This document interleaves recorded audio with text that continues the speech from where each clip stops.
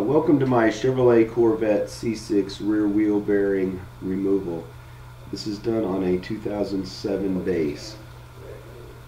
You're going to need a 33 millimeter axle nut, a breaker bar, and a long cheater bar, and preferably a second person to hold a pry bar in the cooling vents of the disc and allow it to rest upon the caliper while you break free that nut.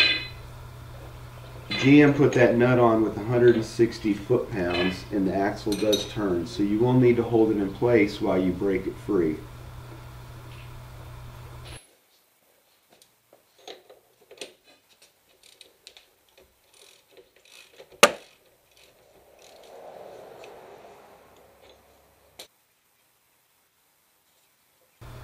Disconnect your ABS cable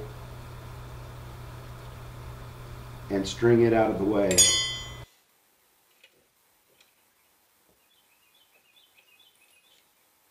Next we're going to remove the bolts that are holding your caliper on.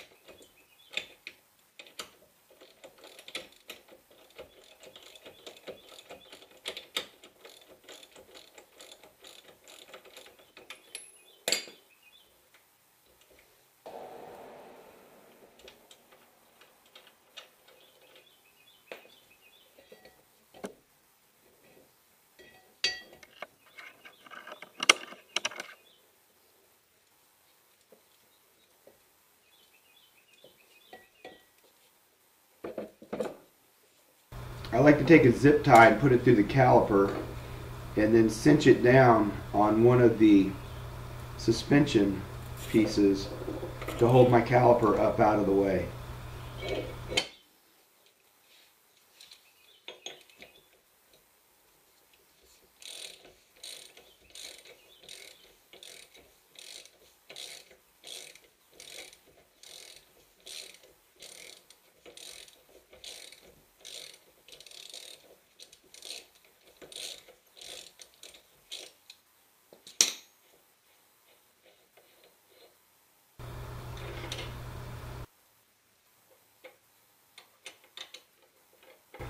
Now we're going to remove the rear tie rod end and we're going to remove the nut and then we're going to drop the tie rod out of the way. If you see your boot is starting to crack or it has holes in it, uh, now would be a good time to go ahead and replace that rear tie rod. Uh, once you replace your tie rod, remember you need to take it to uh, Chevrolet or wherever you get your car worked on and have it aligned.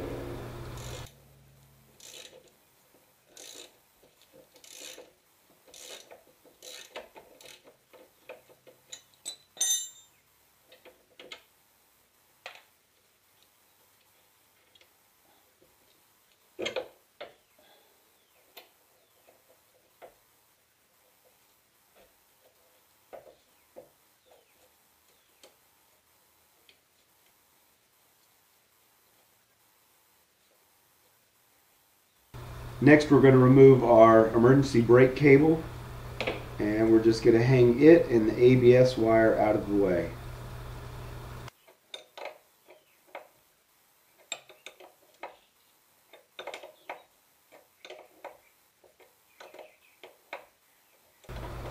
Then we loosen the nuts that are holding the hub assembly onto the suspension to the A-arm into the car.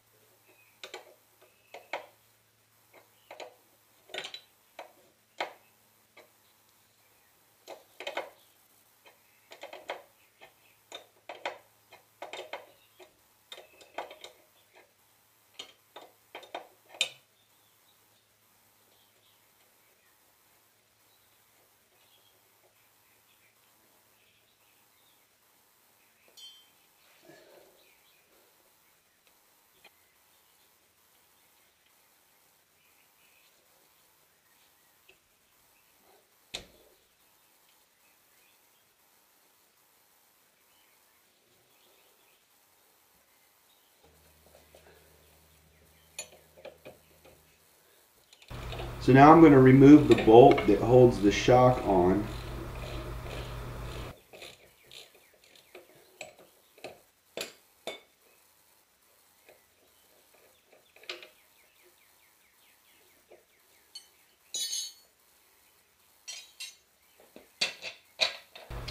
With the jack, I'm going to release the pressure that's holding the shock tight to the suspension.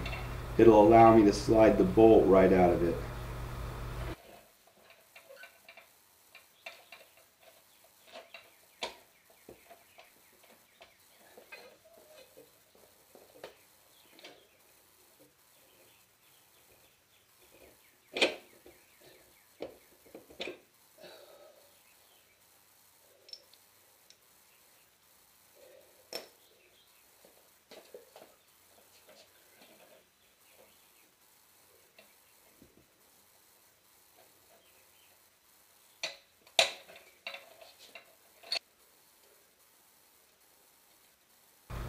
Next we completely remove the nuts that are holding the hub assembly to the A-arm and the suspend lower suspension.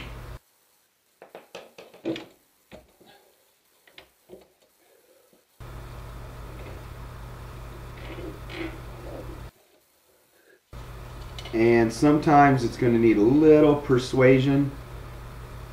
So you take your brass hammer and just give it a tap.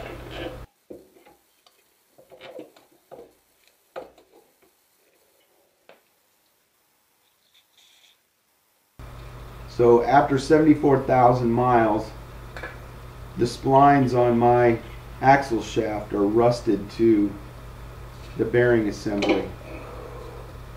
So I'm going to take a BFH and I'm going to persuade my axle to come out of it.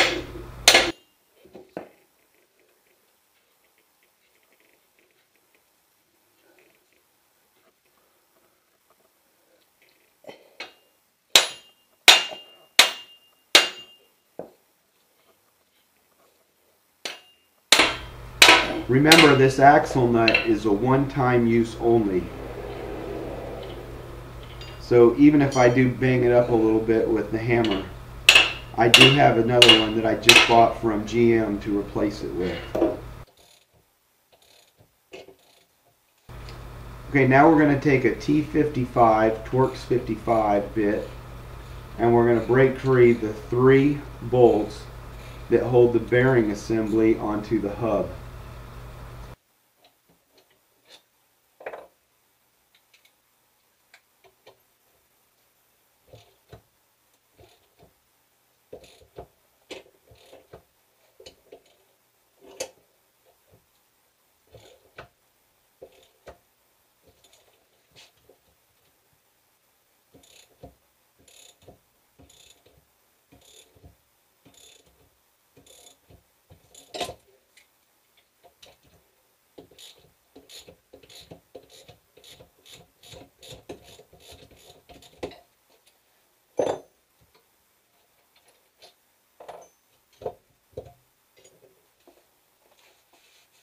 And I take a towel with a little bit of WD-40 sprayed on it and I wipe all the internals clean.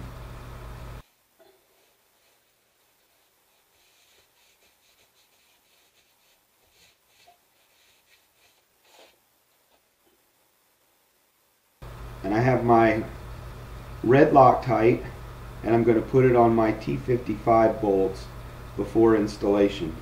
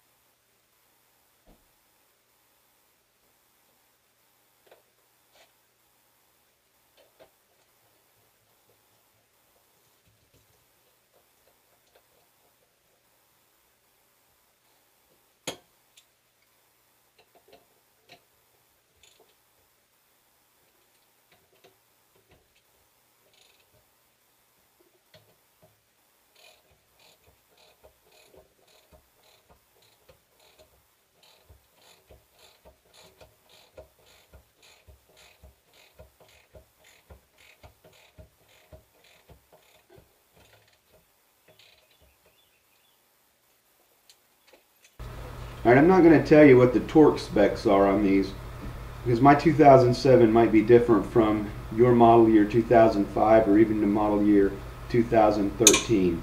So I'm going to say look in your own manual and uh, see what your torque specs are before you do this.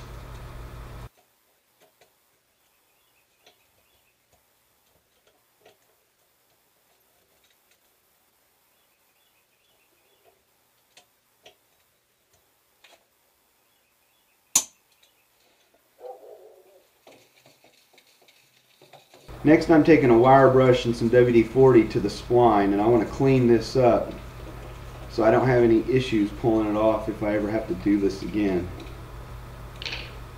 So I took some WD-40, a wire brush, I wiped it all down clean and then I'll take some marine grease and I'll put a very light coat of marine grease on all my bolts and everything that I put back together.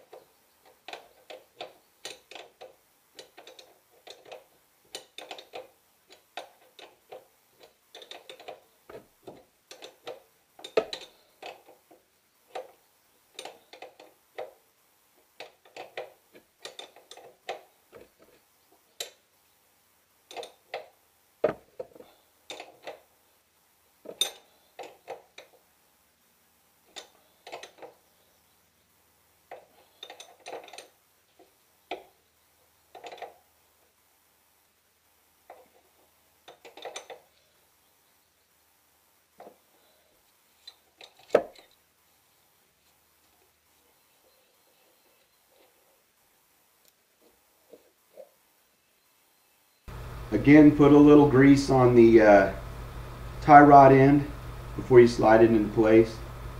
Put a light coat of grease on everything. It kind of eliminates all the little creaks and squeaks your car might have later on in life.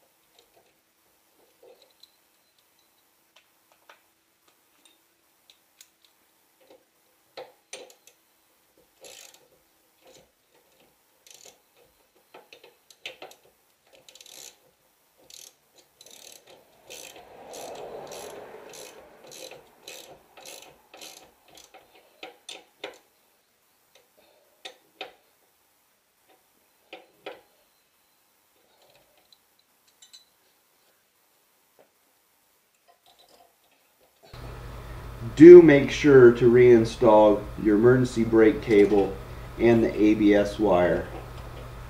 Very important features.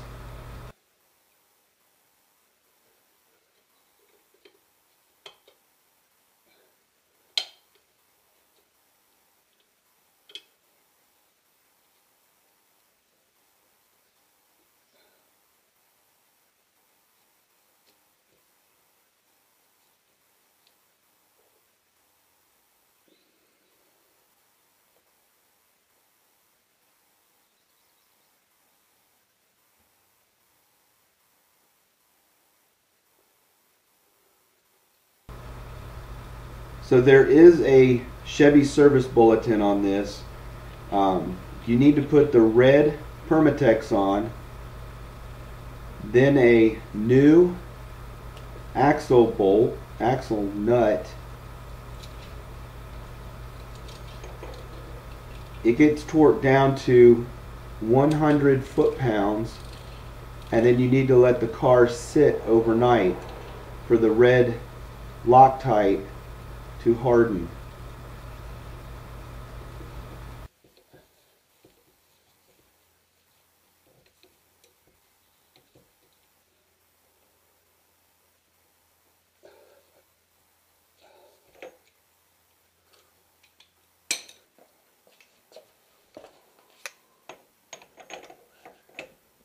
And yes, I will hit this with the torque wrench twice. So this is my first time getting it to 100 pounds.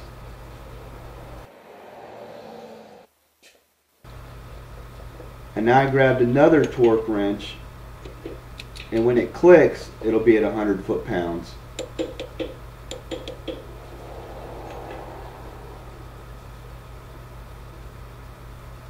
It's very important that this axle nut is done correctly. Otherwise your wheel could roll off the car going down the road. So we reinstall our brake rotor and I'm going to clip the zip tie that's holding my caliper and I'm going to pull my caliper down and then we're going to put the bolts in to put the caliper back in place. And then we're pretty much done other than putting the wheel back on. So I know this is just a 20 minute video. I was able to do this entire job in about an hour. So good luck to you and uh, hope you enjoyed the video. Safe travels.